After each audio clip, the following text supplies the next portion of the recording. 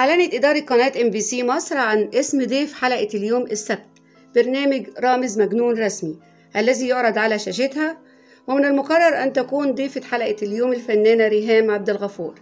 في حلقة جريئة ومميزة من البرنامج حيث يواصل رامز جلال مقلبه ومغامراته ويشهد برنامج رامز مجنون رسمي في الموسم الجديد الكثير من المفاجآت والمواقف والمفارقات غير المتوقعة.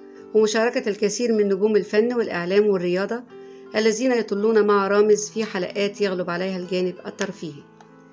رامز مجنون رسمي يعرض يوميا في تمام السادسة والنصف مساء على قناة إم بي سي مصر ويعاد في الواحدة صباحا. بعد منتصف الليل بنتمنى لكل المشاهدين مشاهدة سعيدة. رمضان كريم وكل عام وأنتم بألف خير. إذا أول مرة بتشاهد قناة ثقافة ومعلومة لا تنسى لايك واشتراك في القناة مع تفعيل الجرس ليصلك كل جديد. مع أجمل ورق تحياتي وتحيات أسر الثقافة ومعلومة.